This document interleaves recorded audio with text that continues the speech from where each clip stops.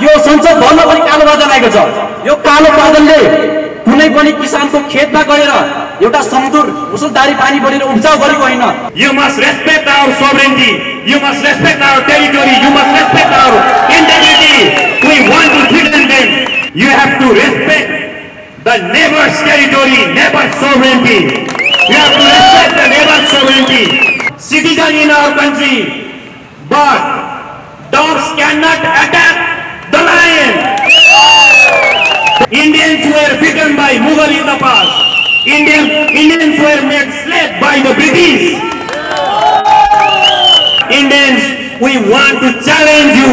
We want to threaten you. हामी कुनै पार्टीको झोले होइन मात्र ए न त एमालेको झोले न त स- के अरे ओ, काङ्ग्रेसको झोले न त माओवादीको झोले न त चाइनाको दलाल छोटे राजाहरू अहिले नेपाली जनताको भाग्य र भविष्यमाथि कुठाराघात गरिरहेको छ। भाग्य र भविष्यमाथि उसले लाभ बनाइदिरहेको छ।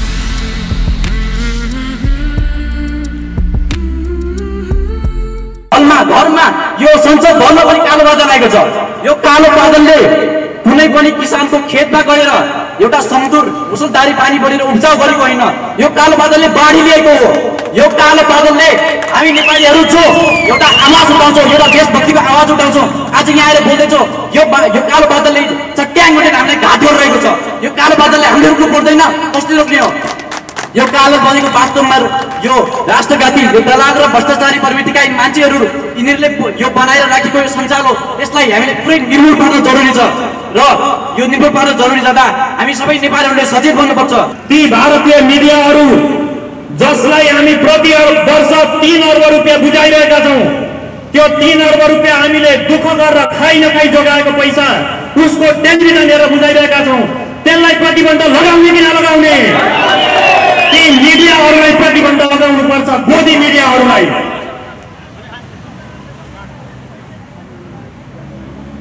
त्यसैले हामीले भारतीय दलालहरूको सशक्त विरोध गर्नुपर्छ। इन्डियन इन्डियाले हामीलाई हेप्नुसम्म हेपेको छ जताततै हेपेको छ हामीलाई।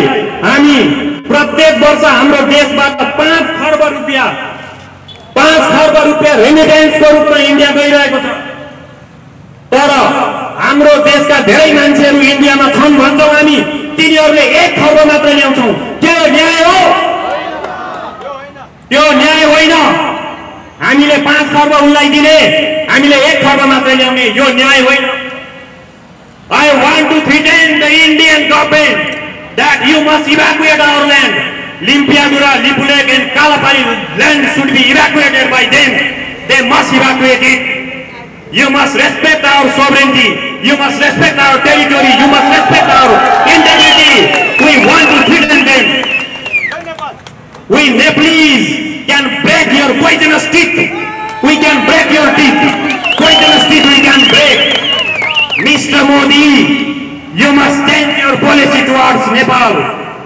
And if you want to peace in your country, you have to respect the neighbor's territory, neighbor's sovereignty.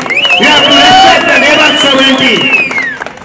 Modi always said that we have billions of citizens in our country, but dogs cannot attack the lion. The group of dogs cannot attack the lion. Nepalese warriors are lion. They can challenge the Indian government and the policy of Modi. You are beaten by Mughal in the past. Indians were beaten by Mughal in the past. Indian, Indians were made slave by the British. But now your time is come. This is your time to be distracted. This is your time to be fragmented. Is your time of destruction. Indians have to think about it. Your blockade against Nepal in 2015, we challenge the blockade. If you want to attack the blockade war, then we challenge you. We challenge Indians. We don't accept your humiliation. It is too much. Humiliation is too much. So that Indians, we want to challenge you. We want to threaten you.